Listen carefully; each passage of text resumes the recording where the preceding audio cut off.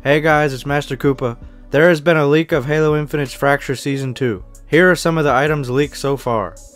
This armor style reminds me of Fallout and For Honor and I kinda don't like it. I think the Fracture events are a cool idea and all, but this feels like it's a rip off what 343 just did in the Master Chief Collection. I want game crossover skins, give me Doom Guy or Marcus Fenix armor. Let me have Conker the Squirrel from Conker's Bad Fur Day on my back as a backpack. What I'm getting at is I want to see 343 be more creative with this game. Like it or not, look how successful Fortnite is with skins. I'm not saying just copy Fortnite, but just give us more than just more medieval armor skins from the Master Chief collection.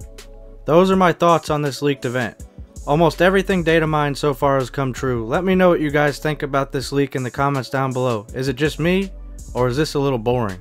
I am Master Koopa, and on this channel we keep you up to date with the latest and greatest games. If you liked the video, consider subscribing, and I'll see you in the next one.